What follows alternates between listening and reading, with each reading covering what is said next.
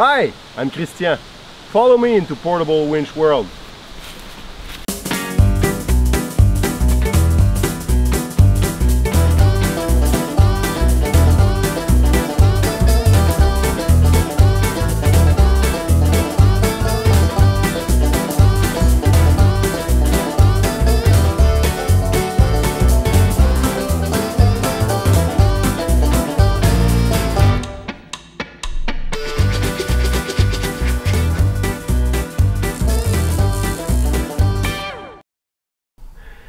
In this video we want to talk about the different models of pulleys that we offer at Portable Winch.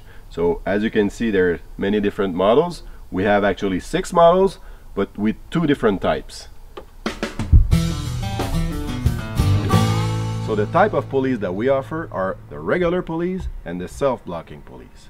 For each type you have the choice between a single pulley or a double pulley.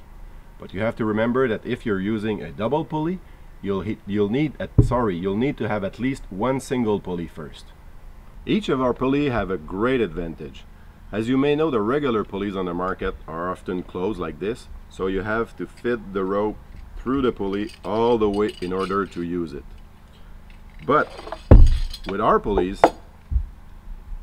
they have swing sides so they can be opened really quickly so all you need to do is open the pulley and then insert your rope and you're all set.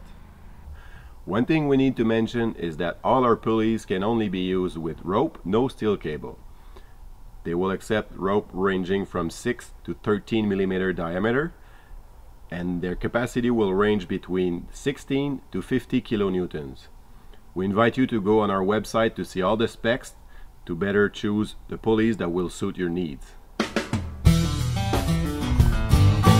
Also, if we talk about some of the advantages of using a pulley, one of the first advantage is that you can change the line pull direction of uh, something that you're going to pull. So if there's an obstacle, you can easily change the direction with the pulley.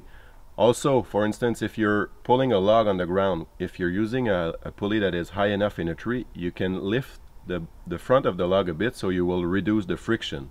And of course, with a pulley, you can increase the pulling power.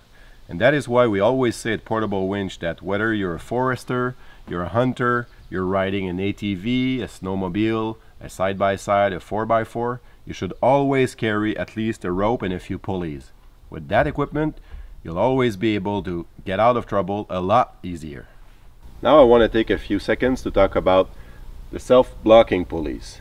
One important thing is that when you're using that kind of pulley to lift, it's really important to follow the rules and regulations that apply in your area.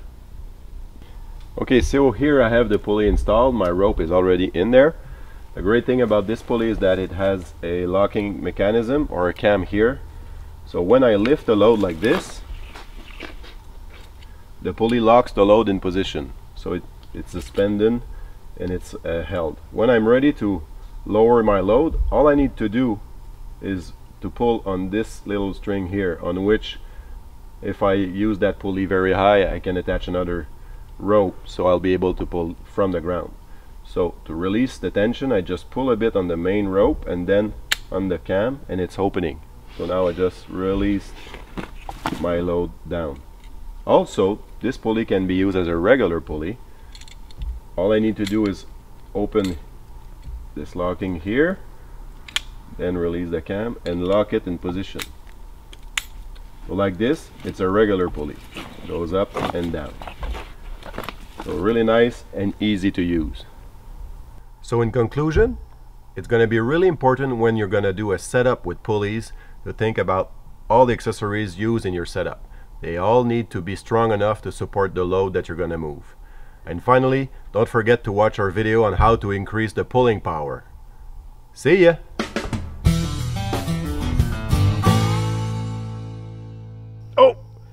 Don't forget, there's more videos to see.